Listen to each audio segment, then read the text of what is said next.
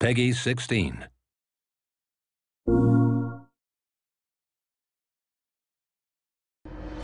My name is Christian Sadek, and I'm a senior designer here at Zipper Interactive. Today we're going to talk about the unique sharing and competitive aspects of our first PlayStation Vita game, Unit 13. We'll also give you a little insight into the things you can do that take advantage of the great networking and social features of the device itself. One of the most compelling aspects of Unit 13 is that it's designed to be a fun and rewarding solo shooter, and something you can play with your friends, both cooperatively and competitively. The leaderboards are the most obvious competitive aspect of Unit 13. Like most leaderboards, we allow you to view your rank globally, regionally, by friends, or those near you.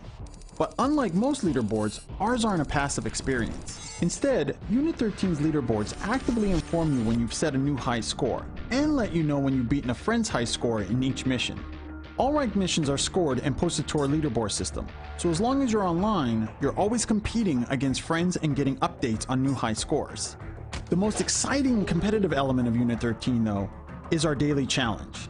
Each day, a brand new mission becomes available for play that has been dynamically created with new objectives and enemy placement. How's that for variety? We'll have a dedicated leaderboard for daily challenges, but in a unique twist, we're only giving you one chance at completing the challenge before the next day begins, making every decision, every objective completed incredibly important. Competing against your friends isn't the only thing that Unit 13 does well. Sharing with your friends is also a key feature of the game. Our cooperative multiplayer allows two players to join up and complete all direct action, deadline, elite, and covert missions together. That's 36 different missions in all.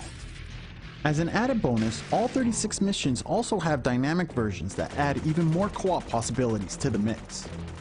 We've even added unique co-op leaderboards that combine your scores and list you together. And in a unique scoring twist, reward players with more bonus points at the end for keeping their gameplay scores close and balanced to encourage teamwork. Another cool addition in Unit 13 is how we use its near feature to extend our gameplay experience. Normally, if you wanted to play a high value target mission, you'd need to unlock access to it by collecting enough stars through regular play. Using Near, players can share HVTs they've unlocked with other players for a limited time.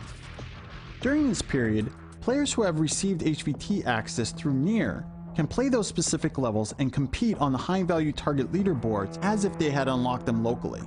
But remember, near HVT access is limited, so if you want permanent entrance to the high value target levels, you'll have to unlock them yourself. As you can see, Unit 13 has something for everyone.